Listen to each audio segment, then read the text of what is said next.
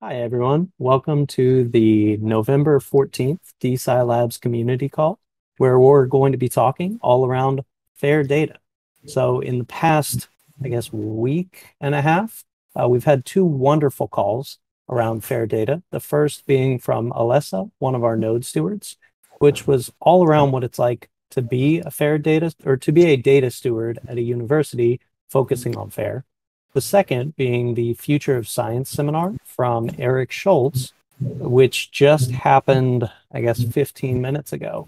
Um, both were wonderful calls, a lot of great information that will continue to come out uh, either on YouTube or Medium, or I think for the Future of Science Foundation or Future of Science seminar, we will have a Spotify podcast afterwards um, then beyond that, uh, a couple quick updates just from the DeSci Labs team themselves. Uh, we are now back and settled from the entirety of conference life. Things are settling down from fall conference season, so we are getting back to building, which is always exciting.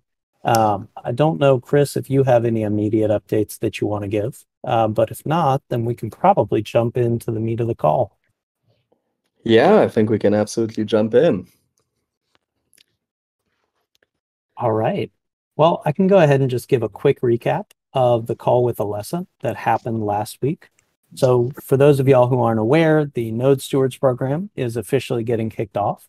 And we have quite a few amazing stewards who are on there with existing industry experience in the world of academic data and metadata. One of them being Alessa. Uh, the node that we've been using as our demo for an extended period of time is actually a piece of her work around um, around the lapis lazuli color blue tint that was used in ancient times. It's a really interesting paper. It's an interesting read. Um, but during that call, she talked to us a lot about the process of being a data steward at a university and some of the challenges that kind of came along with that. Um, a huge part of her conversation and talk was focused on community and some of the difficulties that come along with implementing fair data principles in a larger university setting. Uh, if you are someone who is more technically inclined, you have to communicate technical details of fair data to someone who is, let's say, a microbiologist, whose focus probably isn't on technical implementation and backend storage. So, uh, a huge part of that conversation was around how to communicate with researchers around the importance of fair data. Um, there were a lot of other points raised in that call. So for anyone who was there, please feel to, free to chime in with more information. I'll go ahead and give a quick pause in case anyone wants to.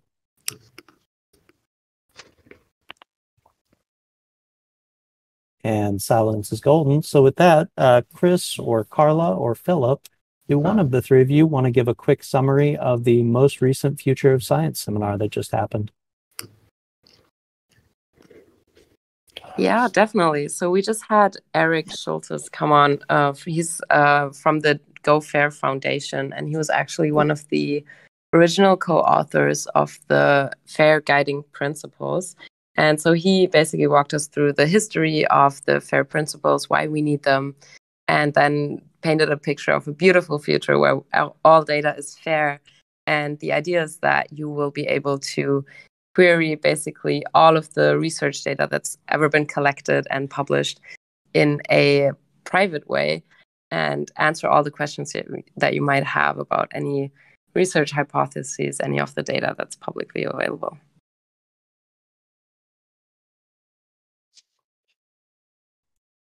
Yeah, so I mean, it was a, a really interesting seminar, and it ties into quite a number of efforts we've been pursuing at uh, DeSci Labs and also with DeSci Foundation regarding uh, understanding and embedding ourselves and essentially creating a, a good mental model of how to maximize the, the value that the infrastructure we're building can bring uh, with regards to interoperability uh, defined in the broad sense.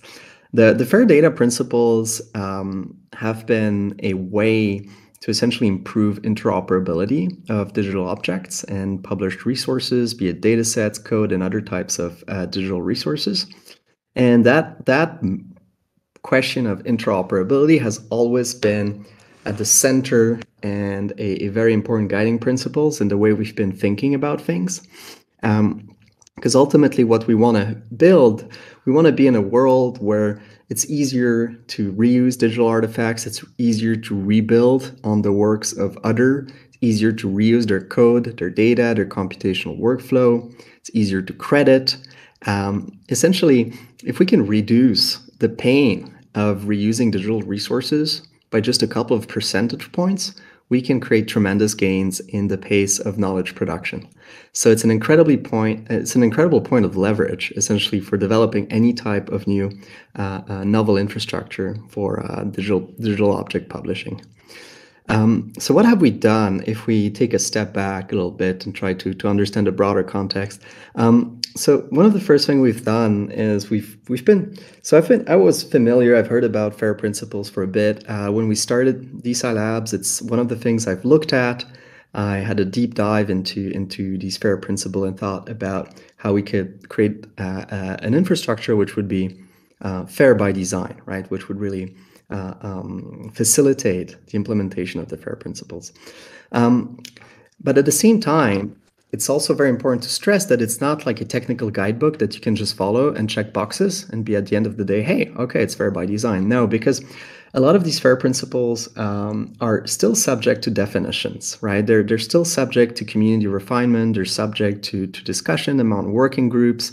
There's an enormous amount of activity around those. And lately, I would say, you know, in the past one or two years, there's this new concept uh, that has emerged, which is actually the combination of both fair data and digital objects, right? So digital object is this idea that came in from Bob Kahn, one of uh, the creator of TCP/IP and, and other internet luminaries. It was about you know creating a more interoperable web. Uh, we also had before that, I think, in the same intellectual lineage, we had semantic web, right? So this is Tim Berners-Lee, Web 3.0, uh, and also very uh, important uh, uh, milestone in development of the internet. Um, and so all of these currents, they they they all converge on this idea of improving interoperability and improving machine readability. So this is really the, the, the, the guiding principle uh, underlying all of this. Now, if you take the digital object framework um, and the FAIR principles, they've been a there's been a synthesis um, quite recently that's that's underway. It's this idea of fair digital object. Right. So the fair digital object is this idea that we combine um, the digital object framework and the, the the findable, accessible, reusable, interoperable.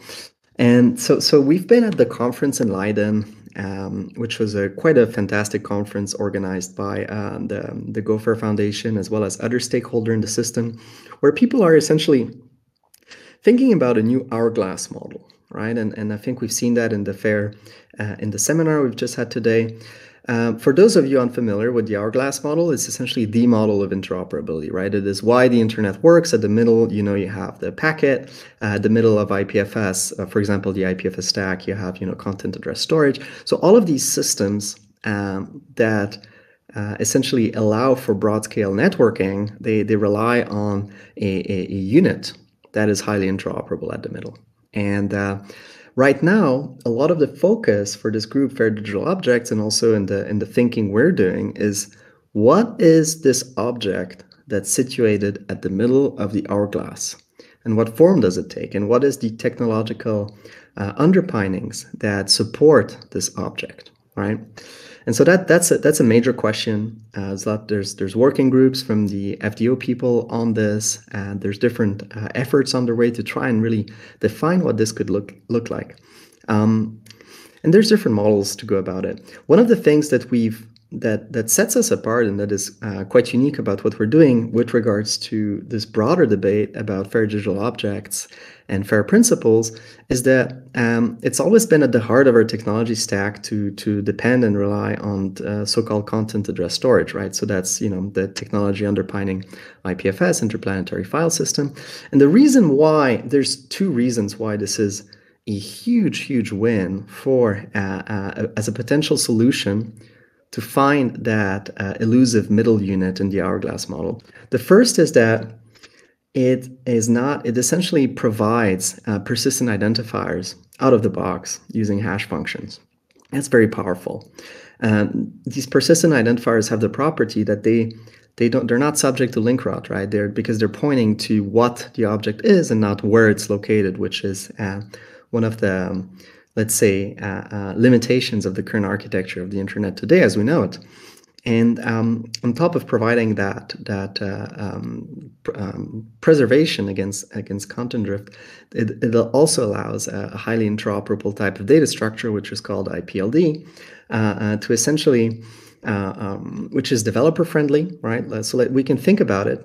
Uh, think about you know at least the version of IPLD that we're we're, we're using is uh, a JSON um, version of IPLD, and essentially the idea is that we have this format that came from the semantic web movement, which is called JSON LD, and we can actually have uh, uh, some form of, of compatibility between JSON LD and IPLD to essentially create these research objects and create these units of metadata that link, that point to data that have a persistent well, I would even say permanent identifier linked to them, you know, certain methods and, and, and certain types and certain metadata definitions associated with them that allows us to essentially re-envision, you know, how these research objects can be stored as rather than having these separate entities stored across silos that are not interoperable, well, now you have a, a very rational data model that allows you to link all of these components in a way that uh, um, it both protects against content drift, provides persistent identifier at arbitrary levels of granularity, and I think that's that's really important um, because the question is, of course, and I think there was a lot of debate during the FDO conference, and it was actually quite a heated debate in the room I was in. It's like, well, what is the scale of the fair digital object? Is it a single file? Is it the collection of file? Is it the collection of a collection of file? Right? Is it is it essentially you know linked data structure? What is the what is the atomic unit here? Right? And you, when you think about persistent identifiers, you, you usually run into a problem, which is well, and, and people in, during that conference was was quite funny. They were saying, well, we're obviously not going to mint a billion persistent identifier for a single object, right? I mean, you could think like the extreme degenerate case is like, you know, every sequence of byte that's encoding some information has a PID to it, right? Which of course is not very useful, but it's a, a, toy example to, to illustrate what the degenerate case would be. Um, and essentially with IPFS, what we can do is that we can have every single file, every single data file, every single uh, uh, digital uh, um, object in a research object have its own PID and have that to be protected against content drift. So yeah, so to, to make a, a long story quite short, um, what we're really interested in is essentially creating an infrastructure that is fair by design and that relies on technologies from the decentralized web movement and to prove that these technologies have a tremendous uh, um, uh, value proposition in creating better solutions for that middle point of the hourglass model. And with that, I'm happy to, you know, kickstart a conversation, take questions, and uh, or you know, go on and and and tell more things.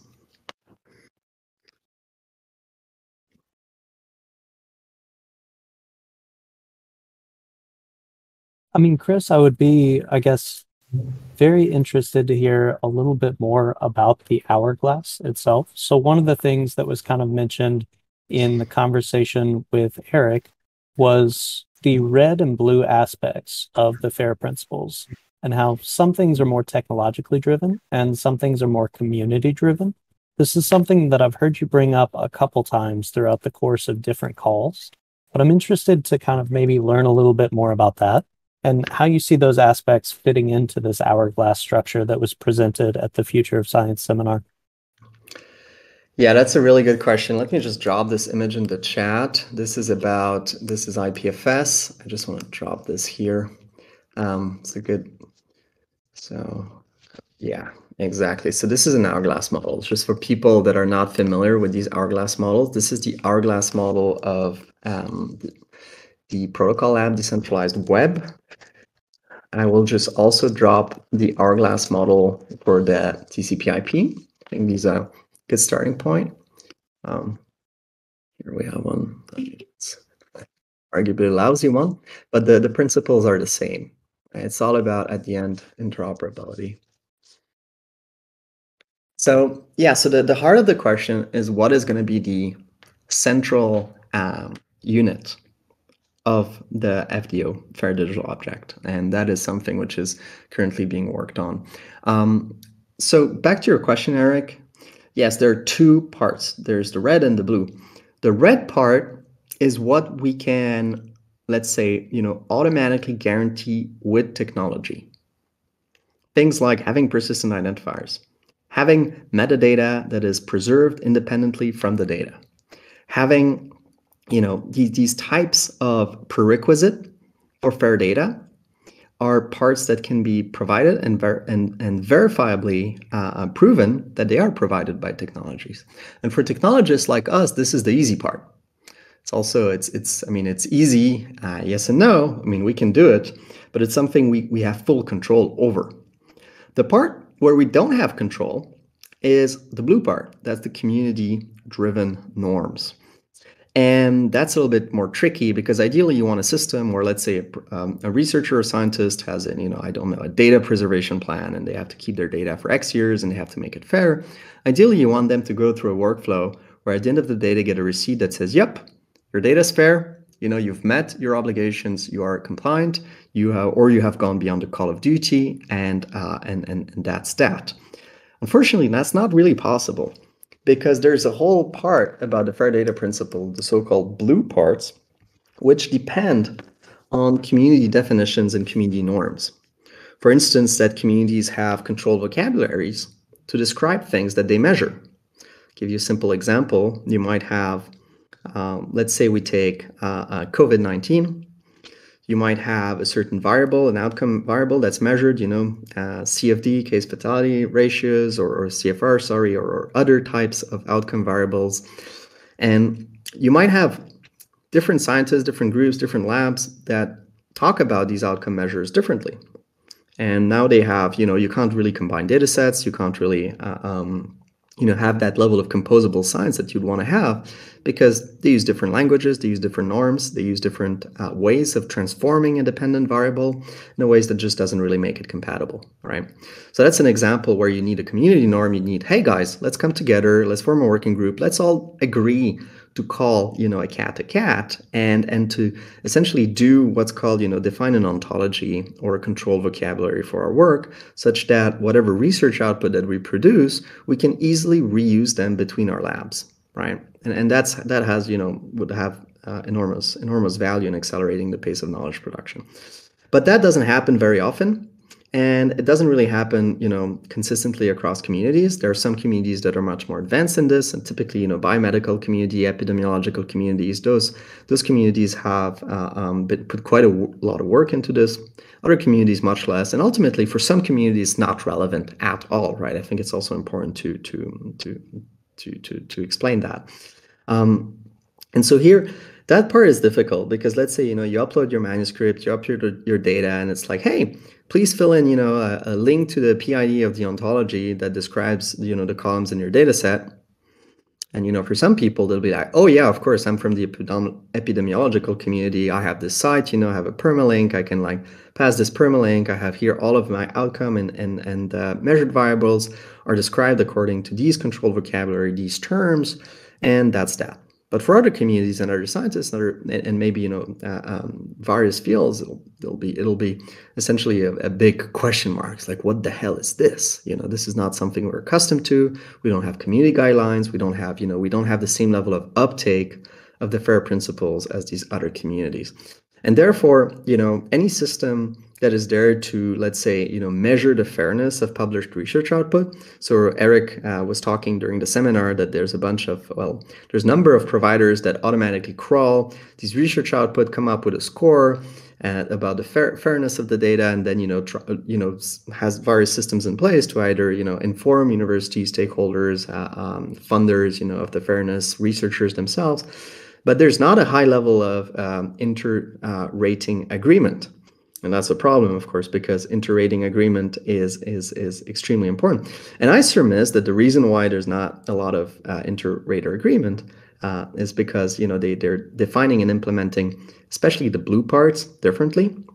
which leads to to to a large degrees of discrepancies between these these uh, uh, ratings. But I could be, you know, I could I, I here I, this is a, a, speculative. It could also be that they have different differences in way they define the the technological parts, the red parts as well.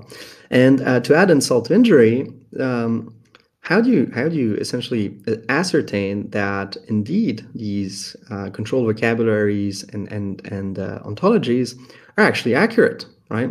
How do you ascertain that it is, let's say, the community consensus around how this should be described? Well, now you you you know you you start needing to introduce humans in the loop, and as soon as you introduce humans, you know, data stewards specifically, then uh, that creates uh, uh, uh a lot of um, you know it's not very efficient as a process. Ideally, you'd want the technology to be able to uh, verify this uh, as accurately as possible and as precisely as possible which uh, given the, the, the room for for the blue principle uh, um, in terms of interpretations, in terms of what's correct, what's not, uh, you you need a domain expert to be able to tell you yes, these these metadata have been properly defined according to the the um, the agreed upon you know the consensus. Uh, uh, on the ontology that we have in our community. So that's a challenge for us in general. And this actually ties in pretty well to the call that we have with Alessa around being a node steward and some of the work that she's had to do with regards to community itself.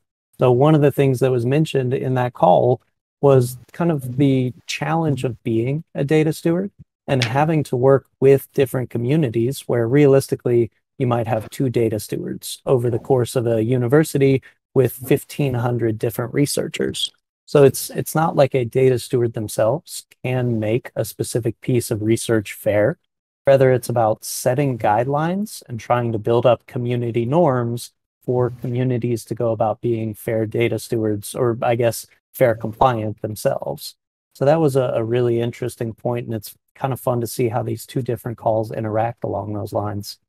Yeah, I think I mean I think it's there's there's definitely a major difference in, in you know how universities define data stewards and how we define node stewards. I mean these are uh, um, quite quite different things. Uh, for universities, essentially, hey, we have a bunch of researchers producing research outputs, and we need these research outputs to be interoperable and reusable and that's important. And uh, what's going to happen is there's going to be a lot of work that has to be done on the policy side, on the communication sides, on like leading the researchers to the right types of repositories, you know, helping them uh, uh understand, you know, the the optimal workflows to make their data fairs and, and all of that, right? So there's more like much more of a communication slash policy uh, um, uh, effort that that needs to happen there for, for, for this to become a reality.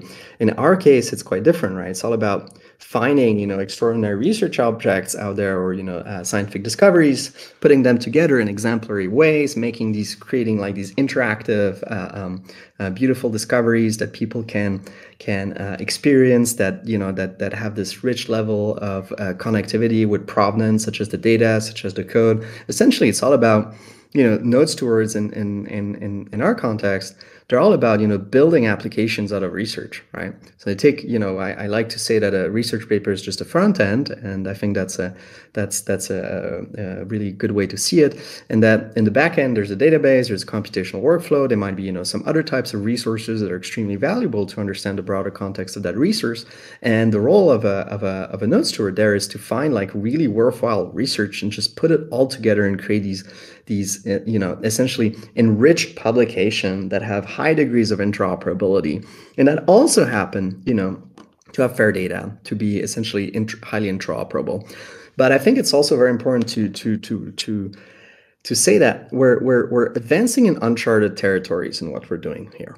Um, there are some functionalities that that we're planning that go far beyond fair data principles like typically this idea of composable science, right? This idea that, hey, we can actually pull code from a research node into another node, right? And have automated credit systems. We can pull functions from one node to another. We can, we can, you know, expose APIs, run them on Bacalhau on decentralized compute from one node and like feed those results into another node, which would then, you know, uh, uh, essentially be fed into the container to like produce even no, new, newer knowledge, new results, new types of outputs. So those those types of things, they are 100% about interoperability.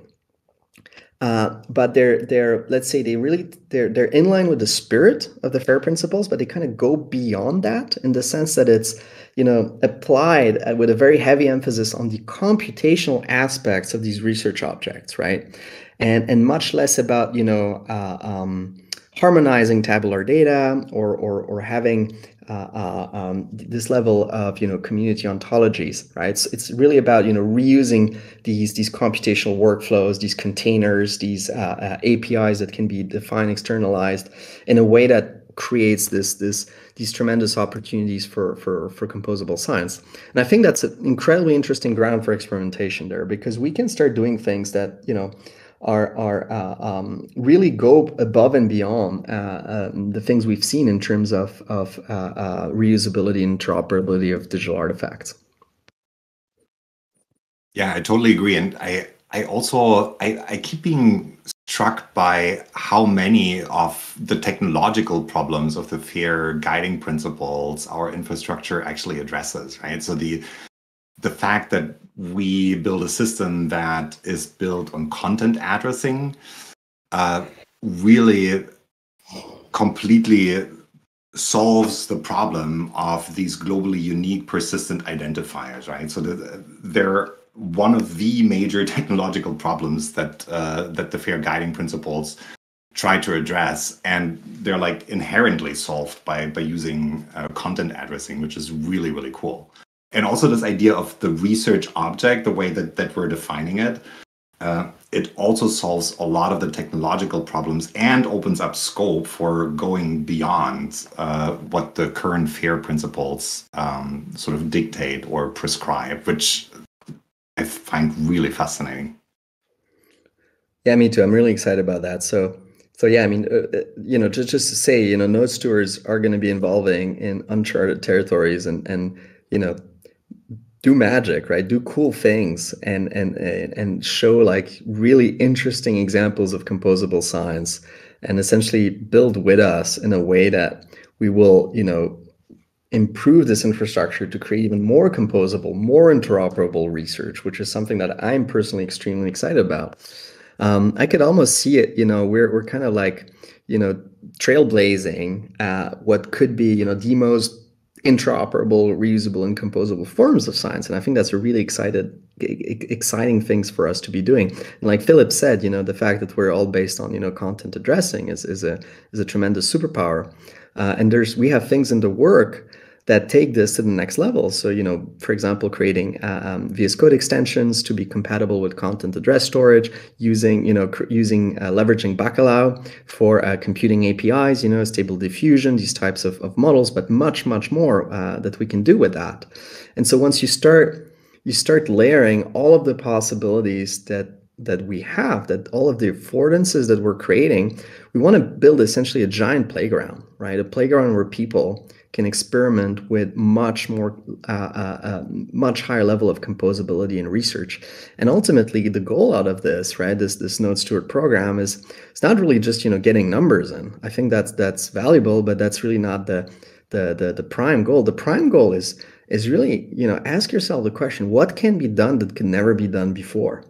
And and how can we you know how can we provide a publication experience to scientists that not only goes far beyond what traditional publishers do, um, but provides a tremendous benefit in terms of accelerating collaboration between scientists and accelerating reusability of digital artifacts.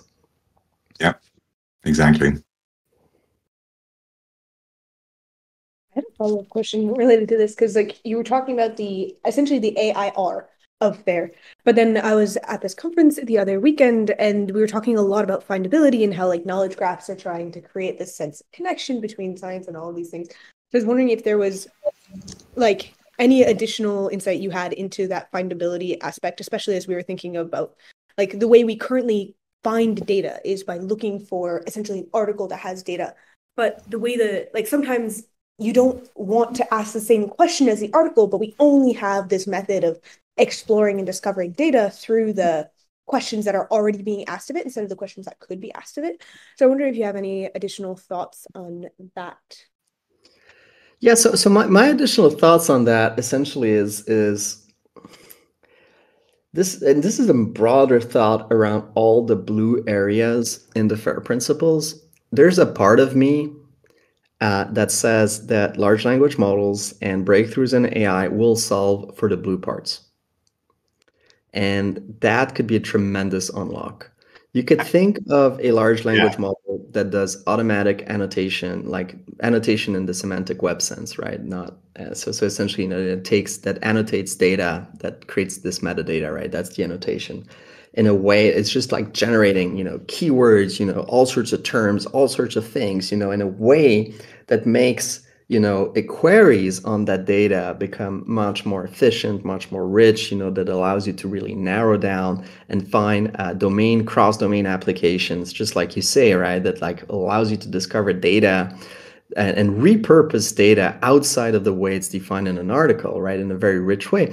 I think a good place to start looking at what's happening there is you look at the guys at elicit.org uh, elicit ai they're essentially leveraging, you know, GPT-3's API, I believe, and they're doing that in a way that they're they're they have like you know they're they're coming up and experimenting with all sorts of cool features every week every month. And some of these features are like hey let's let's harmonize dependent variable like the how they're called right? And you can just kind of look for dependent variables and, and do searches on that and it'll come up with all sorts of articles which don't necessarily label that dependent variable in the exact same way as you queried it but because you had a language model in between it has essentially done a, a, translation, right? So when you think of that ability to translate uh, um, um, these these these uh, uh, well, let's say the content, right, of these these these article in a way that makes them more interoperable, you've essentially had you know you've essentially just had an encounter with a process that automatically FAIRifies you know research data to some extent.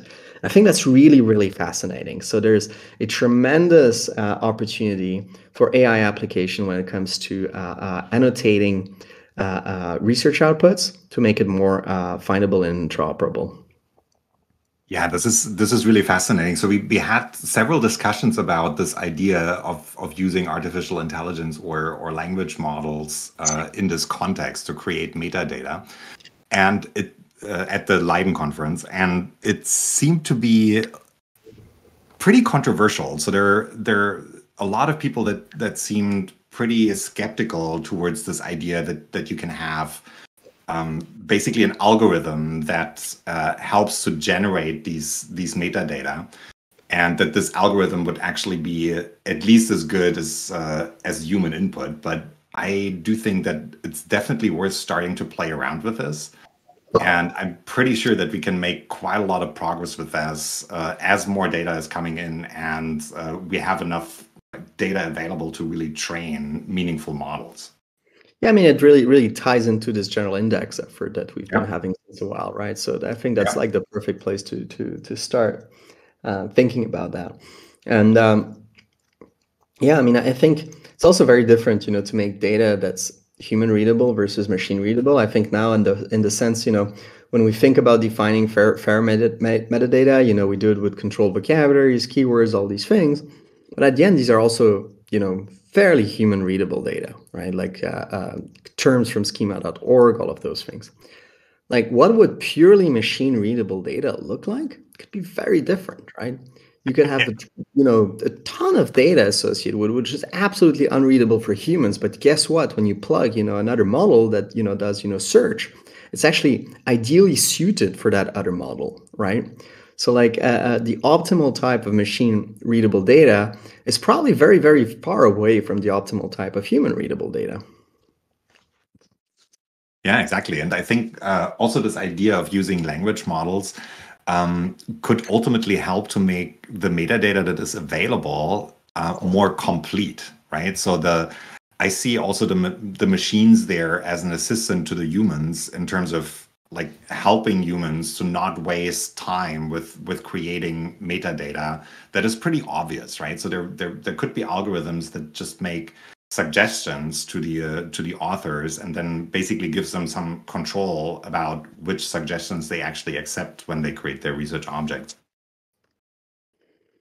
Yeah no no um that that there's there's so many interesting applications here. Um you know just from a from from the simple down to earth UX point of view all the way up to you know let's build a better scientific record that's more interoperable so there, there's there's plentiful opportunities here and I'm, I'm personally very optimistic about that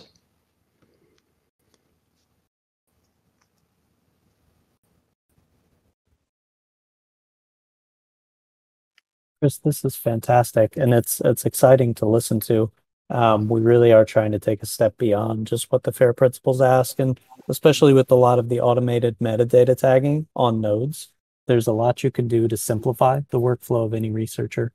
Um, so wanted to quickly open it up to anyone else on the call who has a question around FAIR data and the way that DeSci Labs is working to help implement FAIR data principles.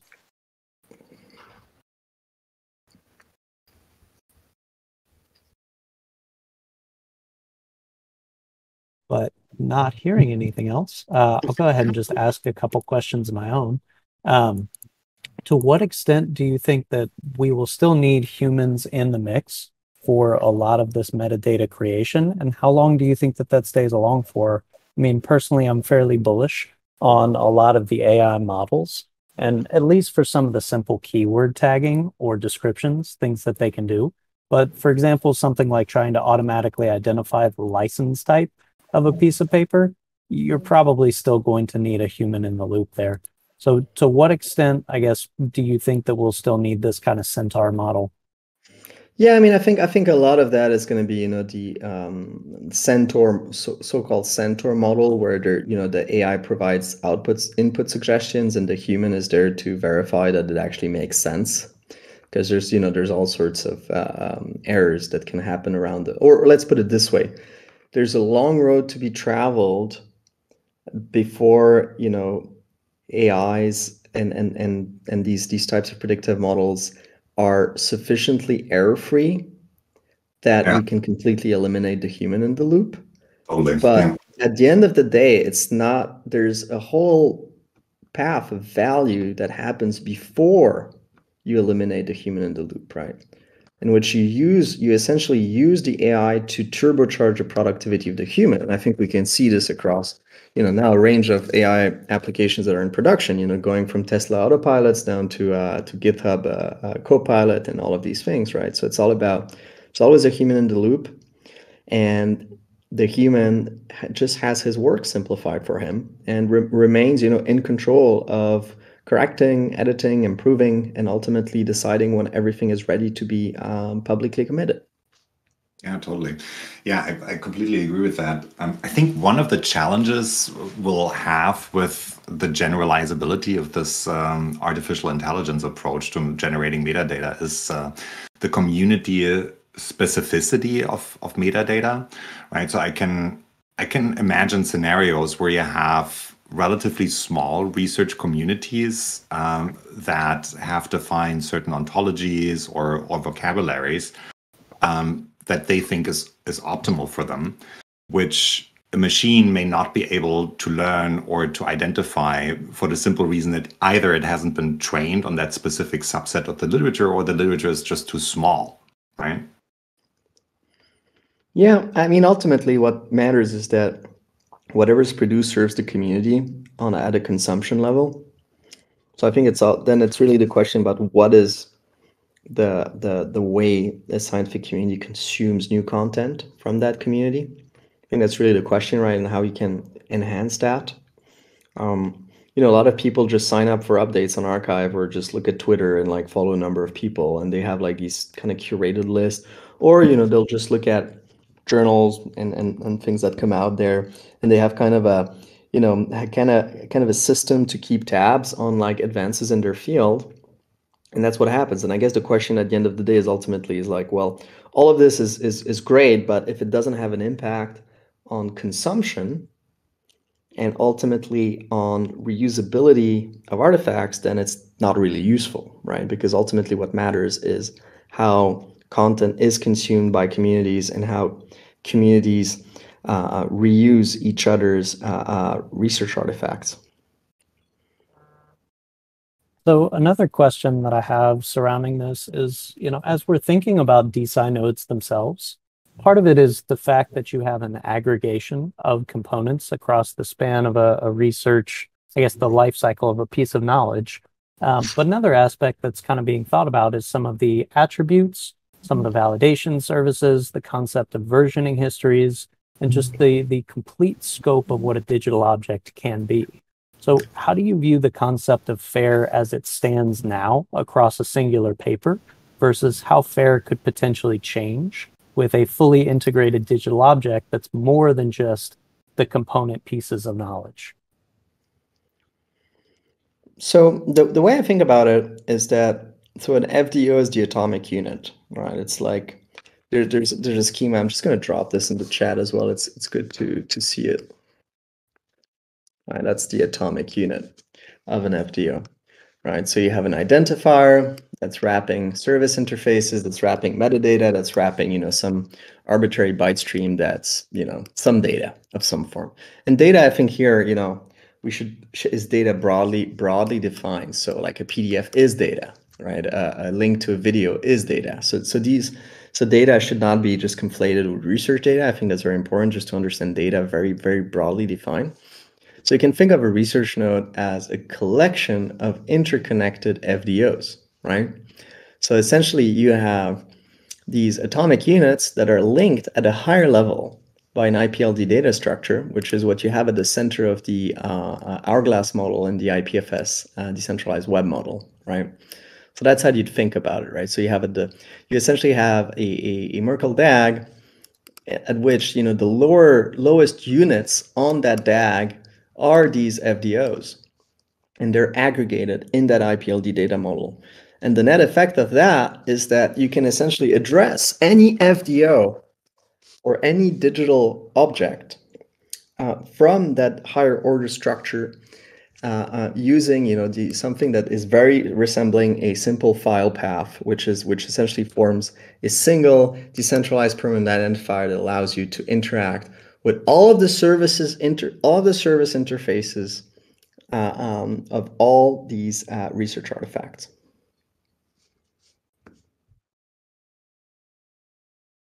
Is that is that that clear, uh, uh, or or should I expand on this a bit? Um, yeah, no, I think it's clear, uh, and it's it's helpful to see um, as we kind of think about other components being added to a digital object outside of just code data and a PDF. It's definitely interesting to see how these can be linked together. So thank you.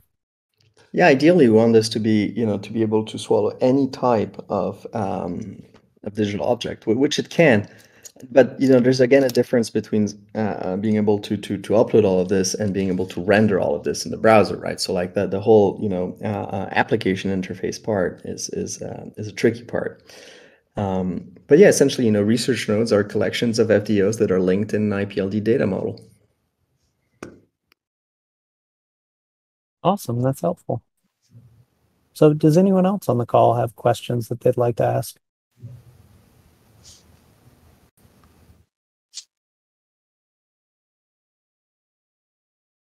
All right. Well, I'm going to assume silence is golden here.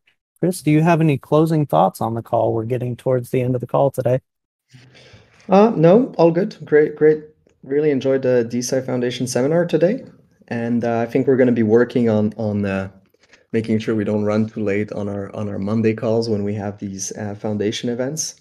Uh, but I really the, I, do like the structure of like discussing these calls uh, during the uh, more more relaxed community calls later on. I think that's a that's a good structure.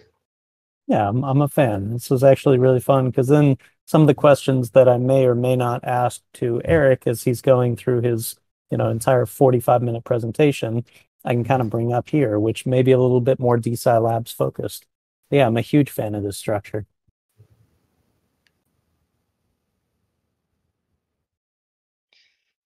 All right. right. Great. Great catching up with all of you. Have a great, great evening. Take care, everyone. Thanks, everyone.